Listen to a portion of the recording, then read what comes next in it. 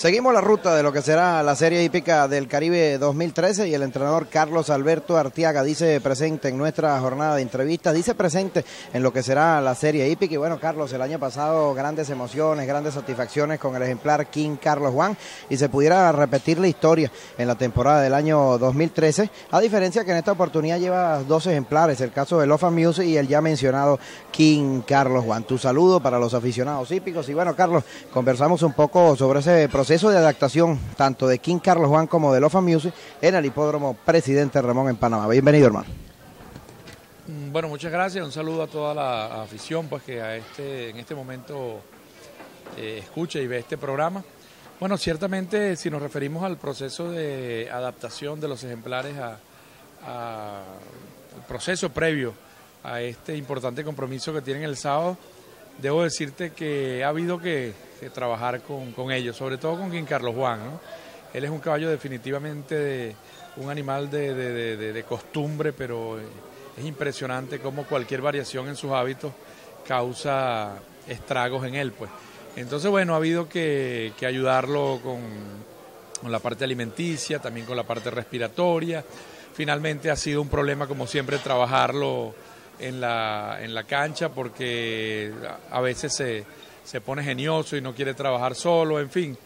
No obstante, mm, igual que, que pasó en Puerto Rico, a partir del briseo se ha visto un poco más colaborador y bueno, pensamos que va a llegar en el, en el tope de condiciones para intentar la, la repetida.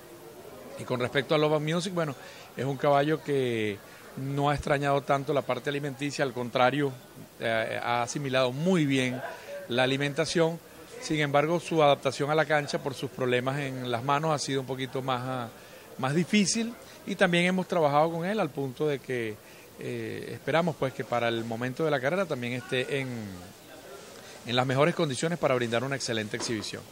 Carlos, si hablamos un poco sobre el tren de carrera, tomando en cuenta de que Loja Music viene de una gran actuación en el clásico Simón Bolívar, corriendo en esta oportunidad un poco más cerca, y que el ejemplar King Carlos Juan es un ejemplar ligero por naturaleza. ¿Será pues la, la velocidad en este caso King Carlos Juan y Loja Music a mitad de lote?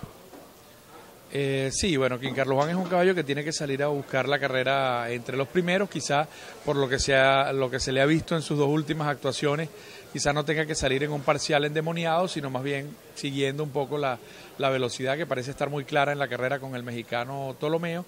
Y sí, Loba Music va a venir en el pelotón, donde seguramente estarán también Chao, Arquitecto, la yegua de X Angels, si finalmente deciden correrla y, aprovechando que son 2.000 metros puede eh, hacer efectiva su atropellada y en ese caso sorprender.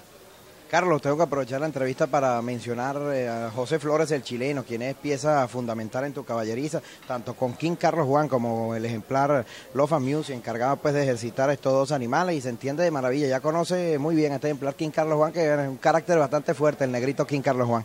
De verdad, en nombre del equipo de Hípicos en línea, te deseamos éxito, hermano, que logres pues eh, la victoria en lo que será la Copa Confraternidad, bien sea con King Carlos Juan, bien sea con Lofa Music, el equipo de en línea apoyando el deporte hípico en Venezuela, en Panamá, en Puerto Rico y esperamos contar con un poquito de suerte, hermano.